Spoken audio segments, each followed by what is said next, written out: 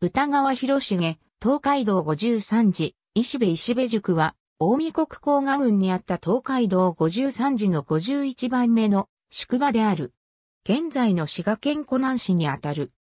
田学茶屋石部塾は、京都を出て1日の皇帝にあり、慶立石部止まりと言われた。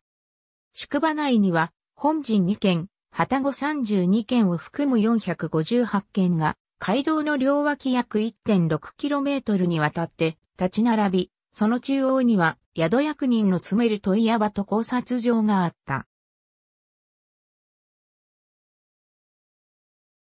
湖南市内には東海道石部塾歴史民族資料館があり、宿町などの歴史資料が展示されている。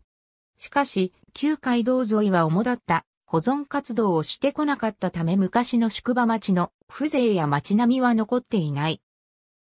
宿の成立は1571年に織田信長の地下で五家村が合わさり、石部町を形成した時点とする説や、1597年の豊臣秀吉地下で、信濃義光寺の輸送に、駅府、天満を課せられた時点とする説、1601年に、東海道各宿に、主印状が発せられ天満挑発の定め書きが加付された時点とする説、1615年から1623年の記録に残る時期とする説などがあるが、新州石部長氏は1601年説を妥当として紹介している。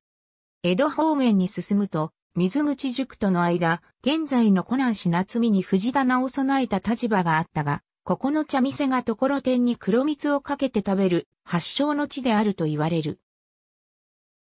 歌川広重が東海道53時に描いた目川の里は石部塾よりもむしろ草津塾にかなり近い。JR 西日本草津線石部駅、ウィキメディアコモンズには石部塾に関するカテゴリーがあります。ありがとうございます。